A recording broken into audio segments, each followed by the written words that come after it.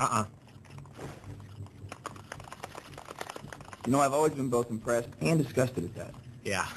Sue says I'm addicted to it. I wonder why she'd that.